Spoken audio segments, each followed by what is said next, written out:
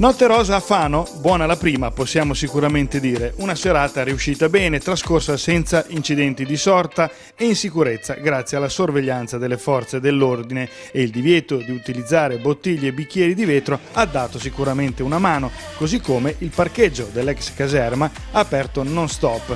Da registrare anche nessuna emergenza sanitaria per eccessi di alcol, cosa non da poco. Si è voluto unire le forze creando un evento straordinario che era già partito nell'Emilia Romagna e con questa parte di costa delle Marche che va da Gabice fino a Senigallia diventa un altro valore aggiunto e soprattutto possiamo parlare a livello internazionale e nazionale perché questo ha avuto un lancio eh, straordinario sui mass media e quindi è diventato veramente un'occasione per far conoscere anche la nostra città. Una serata trascorsa tra momenti comici all'anfiteatro Rastad con il San Costanzo Show e le note dell'Orchestra Sinfonica Rossini che ha inaugurato la Corte Sant'Arcangelo. In piazza 20 settembre i rinoceronti hanno animato con le loro note un centro storico poco coinvolto da questa prima notte rosa, con negozi spenti e saracineschi giù, con il pensiero più alla notte dei saldi gran finale a mezzanotte con lo spettacolo pirotecnico e l'animazione del Lido. La partecipazione è stata tanta anche dagli esercenti che ringrazio tutti perché sono dimostrati molto disponibili e hanno attivato delle belle cose.